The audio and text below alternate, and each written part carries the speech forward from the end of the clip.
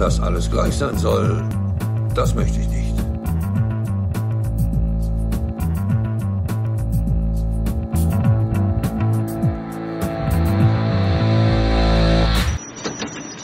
Hallo Leute, Internet.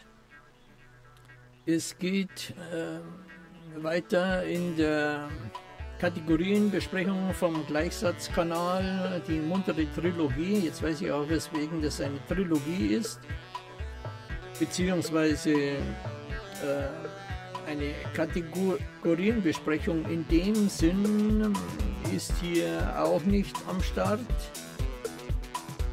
denn ähm, hier handelt es sich äh, mehr oder weniger um alles also um eine Einführung, eine Einleitung in die Philosophie, wenn man so will.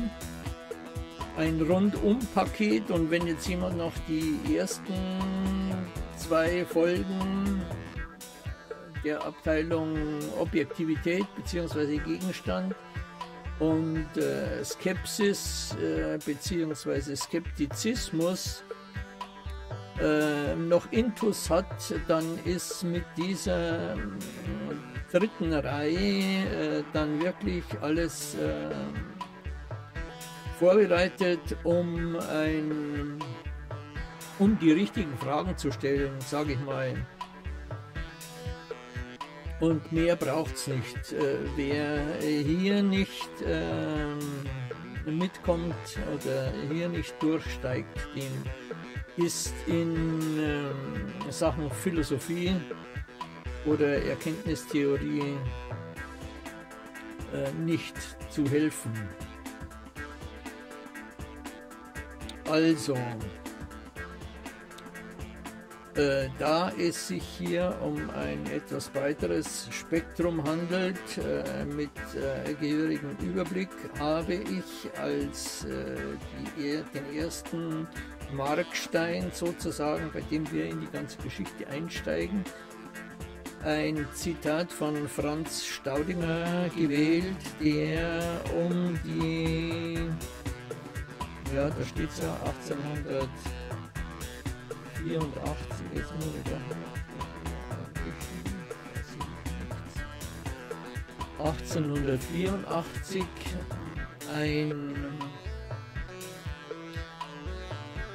das Wort äh, geschrieben, das, wie ich meine, äh, überzeitliche Geltung äh, für sich in Anspruch nehmen kann.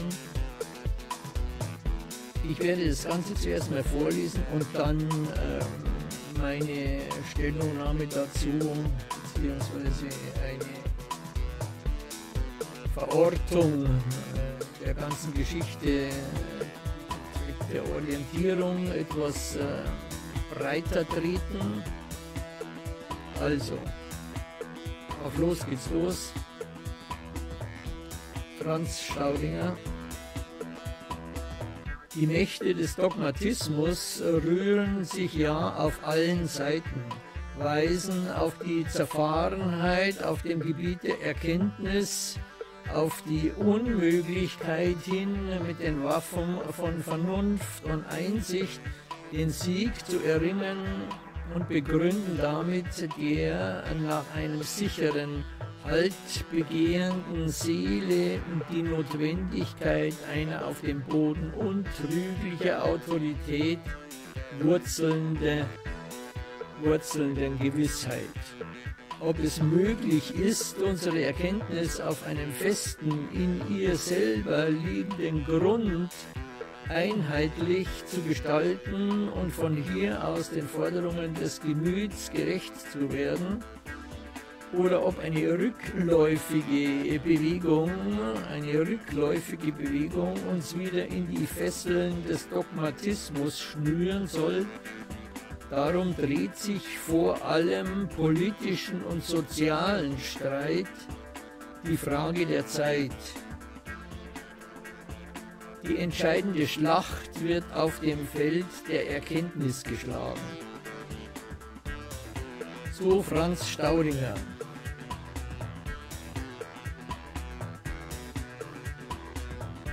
wieso habe ich äh, dieses Statement äh, gewählt zum Einstieg in die Abteilung Abstraktion, Nominalismus, äh, Sprachkritik, ein etwas äh, nicht gerade gelungener Titel, müsste etwas kürzer sein,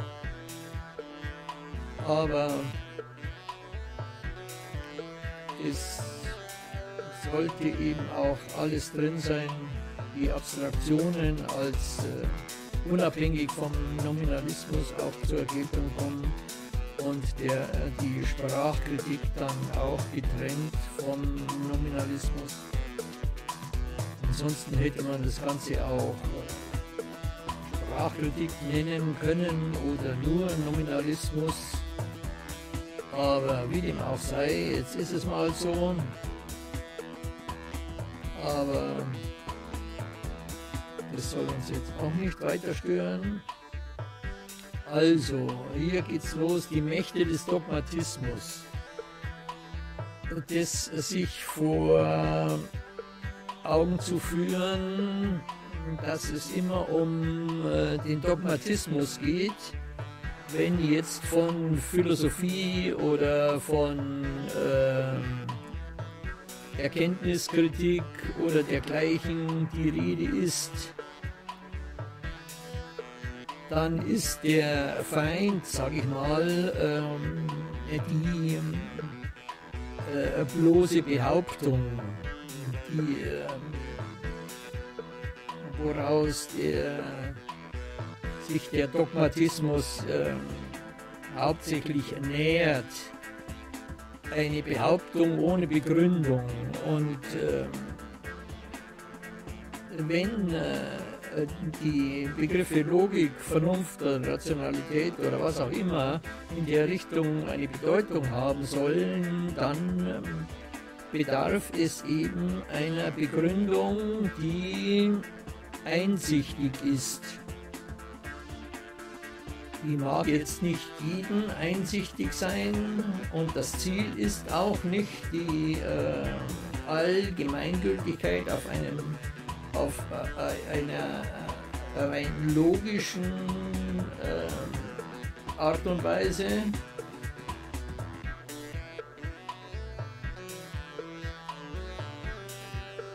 Ähm, Vernunft ohne Einsicht äh, wäre eben Dogmatismus und das ist äh, autoritär und in, in diesem Sinne eine, eine Fortführung des äh, Absolutismus auf, auf religiösem oder, oder auch politischem Gebiet. Und dem gegenüber steht eben das, was als Erkenntnis bezeichnet wird, als äh, Wissen,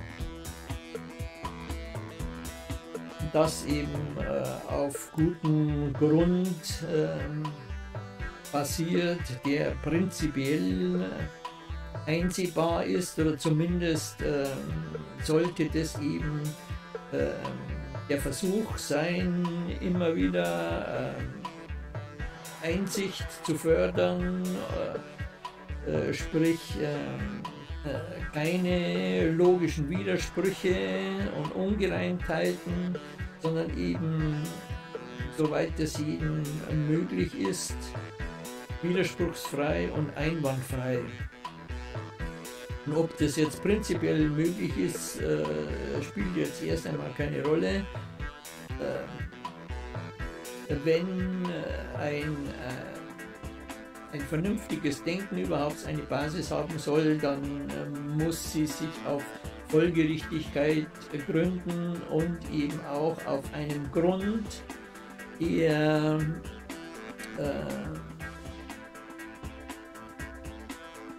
wie ich meine, nicht äh, letzter Grund nicht logisch begründbar ist, aber äh, sondern nur äh, von einem ethischen Gesichtspunkt her. Äh, wie auch immer, äh, es steht und fällt äh, überhaupt äh, auch hier diese Veranstaltung, wenn jetzt nicht angenommen äh, würde, äh, dass es sich hier um ein, äh, eine widerspruchsfreie Angelegenheit oder zumindest der Versuch, eine, eine Widerspruchsfreiheit und damit eine, eine Sache, die ähm, die man einsehen kann, handeln würde, dann wäre das sowieso alles sinnlos und zwecklos. Also gegen diesen Dogmatismus der bloßen Behauptung ohne Begründung wendet sich auch äh, Staudinger. Und äh, von diesen Dogmatikern sagt er, dass sie auf die Zerfahrenheit auf dem Gebiet der Erkenntnis, auf die Unmöglichkeit, äh, mit den Waffen von Vernunft und Einsicht den Sieg zu erringen. Also die Dogmatiker behaupten, so Staudinger eben, ähm, oder bemängeln die äh, überall ähm, um sich greifende Zerfahrenheit auf dem Gebiet, Gebiet der Erkenntnis. Also da kommt sowieso keine Einigung zustande und deswegen muss eben, äh, ist eben ein Punkt für den Dogmatismus, der dann sagt, hier so, da geht's lang, damit wenigstens irgendetwas passiert, äh, damit äh, zur Tat geschritten werden kann, muss dann eben der Ruf nach dem starken Mann und dergleichen. Also, äh, und auch gegen die Behauptung der Unmöglichkeit, äh, dass eben mit Vernunft und Einsicht etwas erreicht werden kann. Deswegen sind dann die, nicht nur die Dogmatiker, sondern die, die Pragmatiker, die legen dann auf diese äh, Widerspruchsfreiheit dann auch keinen so großen Wert, äh, sind äh, eher nach äh, sophistischer Manier bereit, äh, alles Mögliche dann äh, in Sachen Vernunft und Einsicht zu verkaufen, solange es ihren Zwecken dient. Ähm, und Demgegenüber ist eben versucht, im äh, Staudinger spricht hier von einer, einer begehrenden Seele, die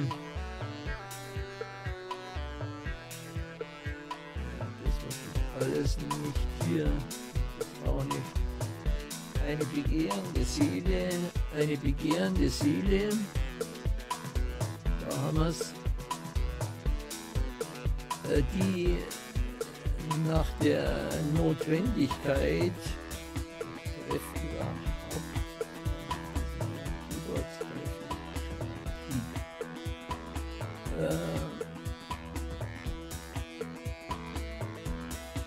die begehrende Seele nach, äh, lechzt äh, nach untrüglicher Autorität, also äh, um Gewissheit, hier wäre von einer Autorität die Rede, die eben keine bloß auf, auf bloße Behauptung äh, fußende ist, sondern sozusagen die einzig mögliche Autorität, die sachbezogene Autorität und dementsprechend die Wurzeln der Gewissheit.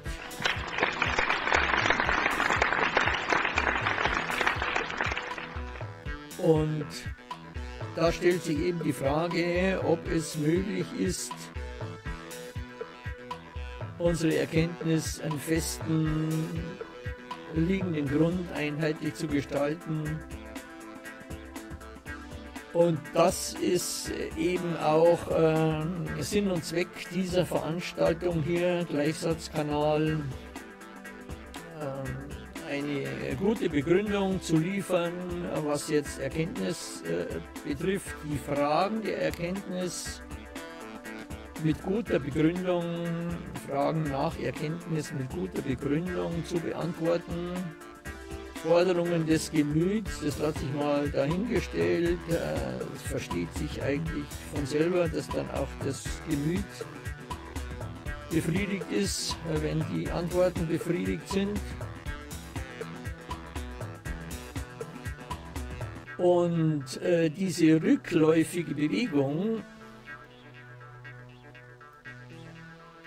die glaube ich, äh, bin ich nicht allein, äh, wenn äh, gerade jetzt äh, im Jahre 2021 wieder mal eine rückläufige Bewegung stattfindet, äh, im Nachklang an die 68er Bewegung, wo eher die andere Seite etwas Übergewicht hatte, ist es wahrscheinlich so wie immer in der Geschichte, dass auf freiheitliche Bestrebungen dann autoritäre oder eben solche rückläufigen Bewegungen folgen, wie jetzt äh, allgemein in Europa oder weltweit ein, ein, ein sogenannter Rechtszurück äh, zu verzeichnen ist in Richtung autoritärere, dogmatischere Ansichten. Das ist vielleicht schon zu viel gesagt. Stichwort Trump und Konsorten. Das äh, lässt sich, äh, glaube ich, äh, mit gutem Grund als rückläufige Bewegung bezeichnen.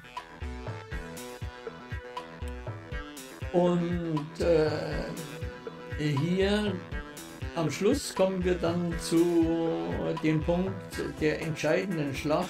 Das lasse ich jetzt dahingestellt sein, aber auf alle Fälle ist es äh, nötig, wenn auch keine Umkehr aus diesen rückläufigen Bewegungen möglich ist, doch so, so viel wie möglich äh, dazu zu tun, um äh, ein noch äh, stärkeres Auswirken dieses ganzen Unsinns äh, zu behindern, zu hemmen. Und äh, inwieweit jetzt diese Schlacht auf dem Feld der Erkenntnis geschlagen wird, das äh, versuche ich hier jetzt mit der äh, Analyse der bisherigen Erkenntnistheorien oder Erkenntnisprobleme auf, dem, auf den Grund zu gehen. Es bleibt dann selbstverständlich jedem äh, einzelnen äh, Publikum, Publi, Publikanten, Publikum, Publikumerich äh, Einzahl oder Publikumerine, Einzahl von Publikum überlassen, äh, inwieweit ich äh, einen Beitrag dazu, es mir möglich war, einen Beitrag dazu zu leisten,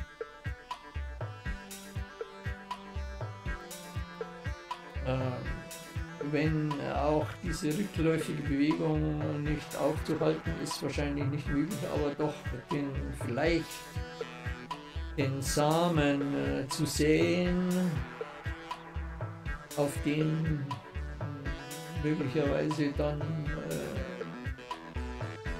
sich die Anzahl der Leute, die über eine gewisse ein Mehr an Urteilskraft als äh, die vielen, die heute diese rückläufigen Bewegungen unterstützen, äh, übersteigen wird.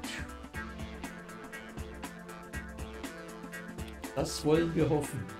Und äh, das zweite Zitat, eine Stelle aus David Humes Abhandlungen über die menschliche Natur, äh, äh auch zur Einleitung, um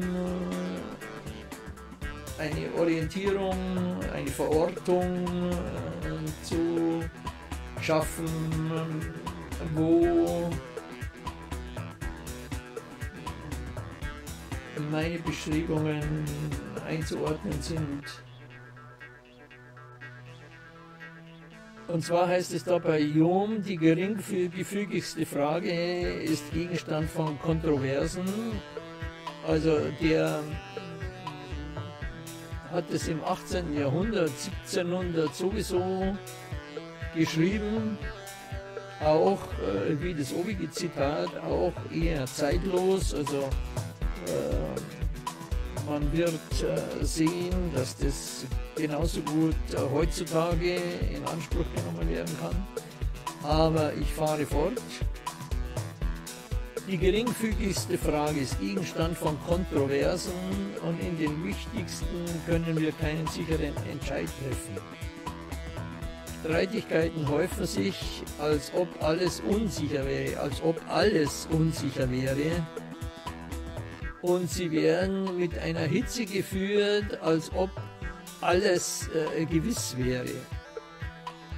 In diesem Toben trägt nicht die Vernunft den Sieg davon, sondern die Beredsamkeit. Und niemand braucht die Hoffnung aufzugeben, Anhänger auch für die gewagtesten Hypothesen zu finden, wenn er nur Geschicklichkeit genug besitzt, sie in einem vorteilhaften Licht darzustellen.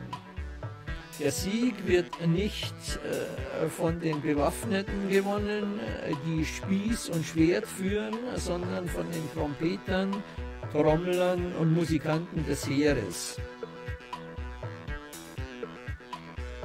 Also die geringfügigste Frage ist Gegenstand von Kontroversen. Hier brauchen, wir einen Blick ins Fernsehprogramm äh, zu werfen, was hier an geringfügigsten vorhanden ist, das Gegenstand von allen möglichen Formaten ist. Und in den wichtigsten können wir keinen sicheren Entscheid treffen. Da brauchen wir jetzt auch nur die, die Leute fragen, die heutzutage 2021 in der Pubertät sind die Unsicherheit war noch nie so groß.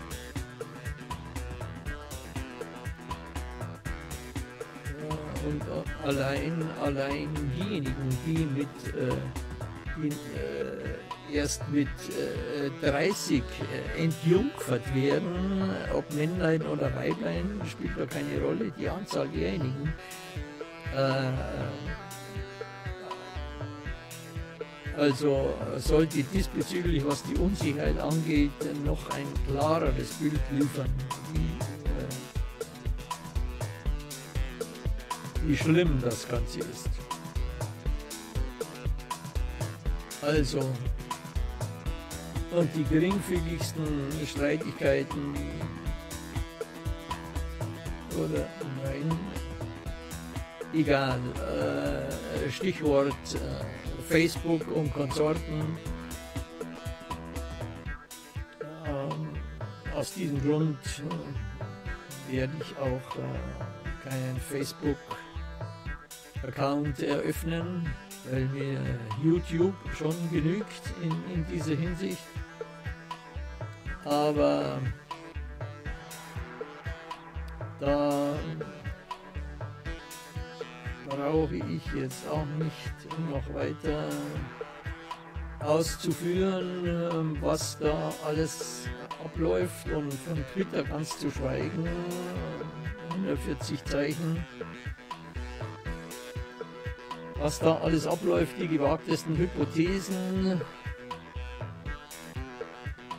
Und der Punkt ist der, dass eben äh, diejenigen, die über die Beredsamkeit, also die größten Schwätzer und Fasler, äh, finden hier Zulauf.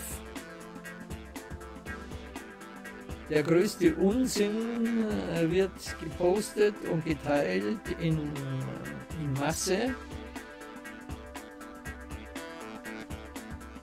Und äh, das, was Hume dann hier mit äh,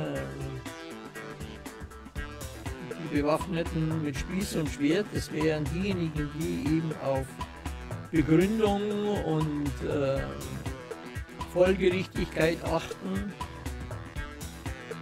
Was jetzt äh, bei Facebook und überhaupt, äh, wenn da äh, wird da immer bemängelt, dass, dass äh, das deutsche Bildungssystem muss da viel mehr drauf eingehen und diese Einseitigkeit und, und, und, und Emotionalität und, und, kurz, äh, wie ist der Begriff, verkürzte, verkürzten Darstellungen da Einhalt zu gebieten. Aber das wird das deutsche Bildungssystem aufgrund äh, der Voraussetzungen, die da gegeben sind, äh, sprich hauptsächlich objektivistische Ansichten, was jetzt die eigentlich wichtigen äh, Fächer angeht, wo es um Weltanschauung oder sich ein Urteil zu bilden äh, geht, ist das Subjekt auf verlorenem Posten,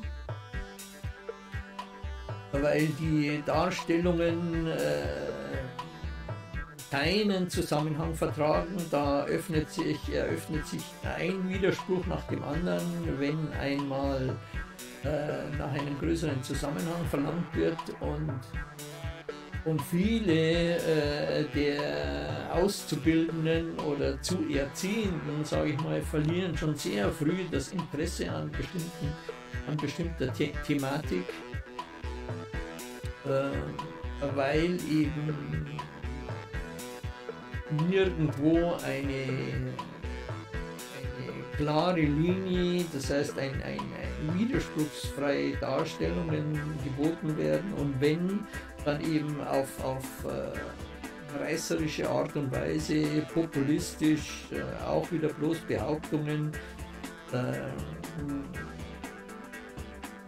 wo sich dann auch nur wieder die schwachen Geister anschließen die Trompeter, Trommler, Musikanten, die, die Werbeagenturen jetzt auf äh, heutige Verhältnisse umgerechnet, die, die Berater sind diejenigen, die das alles so hintrimmen, dass eben der Erfolg gewährleistet ist, dass die Wahlstimmen rüberwachsen, was man tun muss, ein Wahlplakat nur mit äh,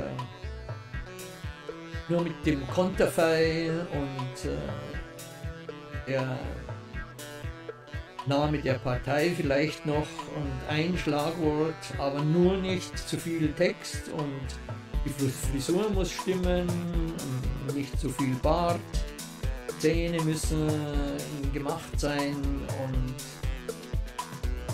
dann äh, wird das erreicht, was zu erreichen ist die politische Macht. Aber leider eben auf Kosten der Inhalte. Und das geht bis in die Wurzeln des ganzen, Systems, des Bildungssystems. Alles nur Formalitäten, wird auf die, viel mehr auf die Form geachtet als auf den Inhalt. Dementsprechend äh, kommt äh, aus dieser ganzen Maschinerie nie etwas anderes heraus als, äh, wie hat man das genannt, Industriesoldaten, mehr oder weniger. Das jetzt die höheren Management-Ebenen sind, spielt dabei keine Rolle weil es vielmehr eine Abrichtung äh, als Mittel zum Zweck als eine Bildung im äh, Humboldtschen Sinn da, daran äh, wagt schon gar niemand mehr zu denken. Also gegen diese Maulhelden äh, würde ich mal sagen, ist diese Veranstaltung hier gerichtet, aber auch äh, an alle, die sozusagen äh, die tragenden Säulen dieses ganzen Unfugs sind, die Mitläufer, die dann äh, nach vollzogener äh, Revolution äh, von nichts äh, gewusst haben wollen und nicht dabei gewesen sind. alle diese ganzen Normalos,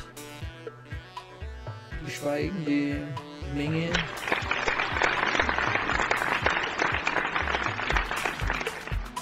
Ja, ich erhalte gerade die Nachricht, dass meine Zeit um ist. Das heißt, äh, mit dieser Einleitung äh, soll es äh, dieses Mal gut sein. Und das nächste Mal geht es dann mit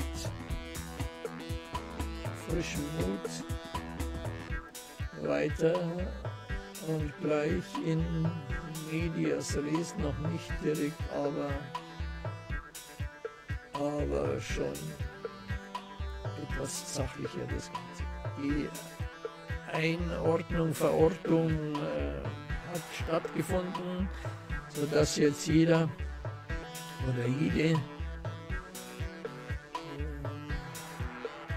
weiß, woran er sie ist. Peace und out.